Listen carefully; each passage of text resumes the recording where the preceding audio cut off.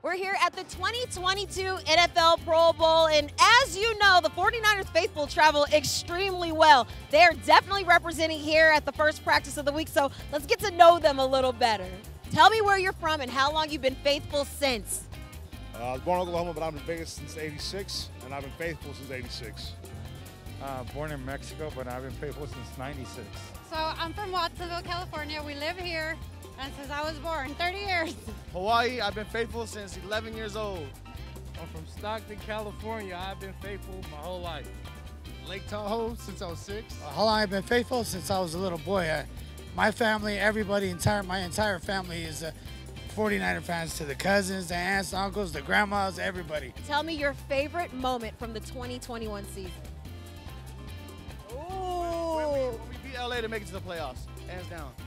That that was a, a 17-0 comeback. That was that was legendary. That was epic. You blocked the punt, we got it for the the Packers game. That was insane. yeah, our defense has been holding it down all year. Who's your favorite 49ers player, which I think we know the answer, and why?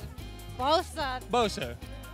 Bosa. Bosa. Deebo Samuel, because he is Deebo. He is a beast.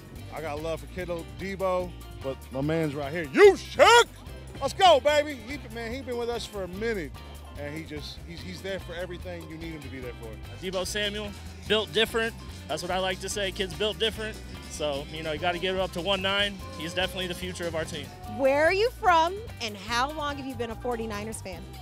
Um, I'm from Nevada, Henderson, and I've been a 49er fan since I was born.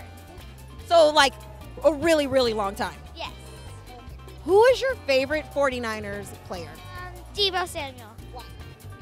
Um, because he can do everything, and he's just he loves everybody, and he's the best.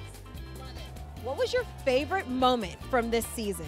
Um, when we kicked the field goal at the end of the game versus Green Bay Packers.